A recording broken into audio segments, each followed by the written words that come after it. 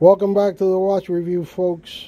Here we have an ESQ chronograph uh, from the Movado uh, watch company.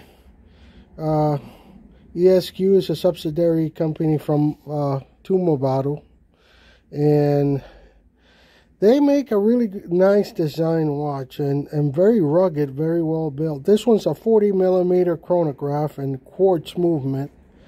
Um, it's got a date window at the 4 o'clock position. This one has a two-tone. It's got the registers are in blue and you got the white dial. It's really, really a really nice watch. Very well designed.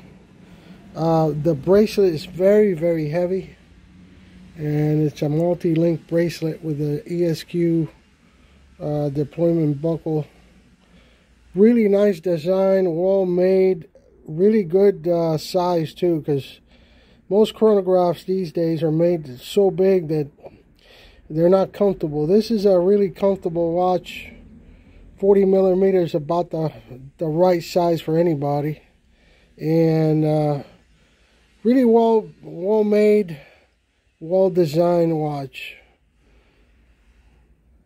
Thanks for watching, folks.